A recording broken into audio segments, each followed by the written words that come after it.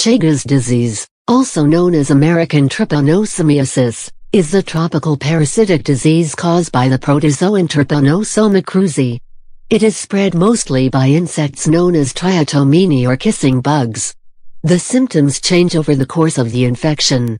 In the early stage, symptoms are typically either not present or mild, and may include fever, swollen lymph nodes, headaches, or local swelling at the site of the bite.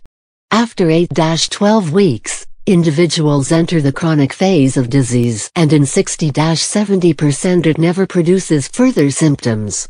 The other 30 to 40% of people develop further symptoms 10 to 30 years after the initial infection, including enlargement of the ventricles of the heart in 20 to 30%, leading to heart failure.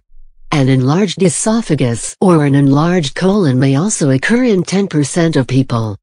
T. cruzi is commonly spread to humans and other mammals by the blood-sucking kissing bugs of the subfamily Triatominae.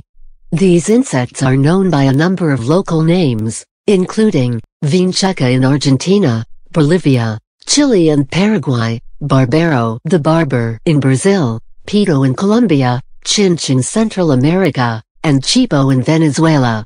The disease may also be spread through blood transfusion, organ transplantation, eating food contaminated with the parasites, and by vertical transmission from a mother to her fetus. Diagnosis of early diseases by finding the parasite in the blood using a microscope.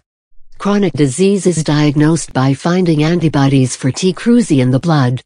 Prevention mostly involves eliminating kissing bugs and avoiding their bites. Other preventative efforts include screening blood used for transfusions. A vaccine has not been developed as of 2013. Early infections are treatable with the medication benznidazole or nifurtimox. Medication nearly always results in a cure if given early, but becomes less effective the longer a person has had Chagas disease. When used in chronic disease, medication may delay or prevent the development of end-stage symptoms. Benznidazole and nifurtimox cause temporary side effects in up to 40% of people including skin disorders, brain toxicity, and digestive system irritation.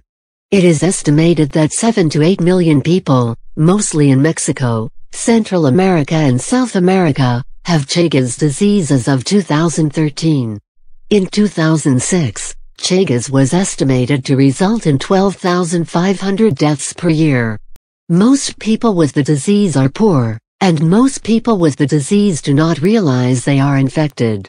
Large-scale population movements have increased the areas where Chagas disease is found and these include many European countries and the United States. These areas have also seen an increase in the years up to 2014. The disease was first described in 1909 by Carlos Chagas after whom it is named. It affects more than 150 other animals.